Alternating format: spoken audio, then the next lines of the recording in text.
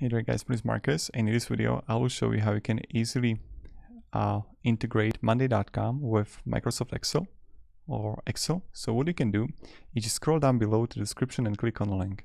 When you're going to do it, you will get right here to Make.com. Make.com is amazing company. It's going to help you integrate various applications and one of those apps is Monday.com with Excel. So what you want to do under Team, you want to click to Scenarios and then you want to click on Create New Scenario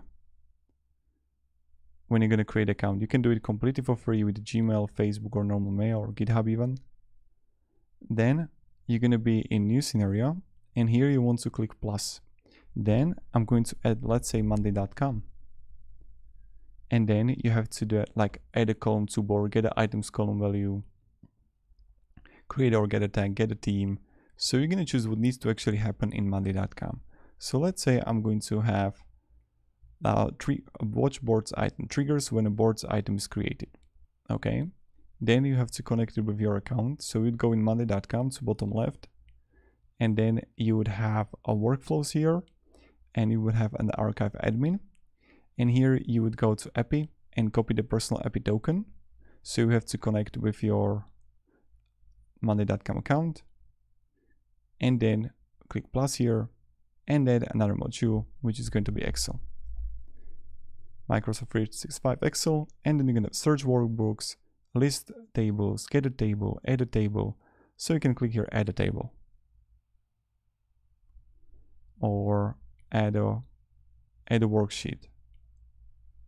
So you can really choose what you want to actually happen. Add a worksheet, add a worksheet row.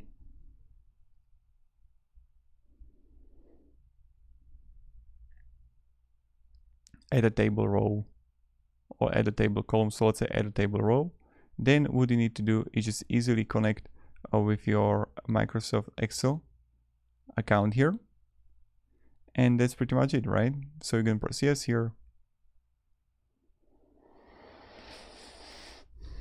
And then press choose a file that you want to actually have. Is loading the data right now, the failing, but this is pretty much how you do it. You can always, guys, a message to make.com customer support. They're really helpful.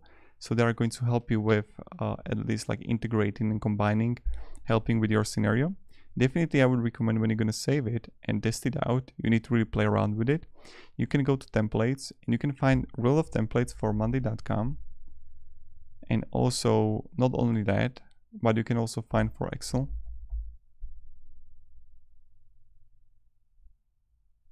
And that's all what you can do.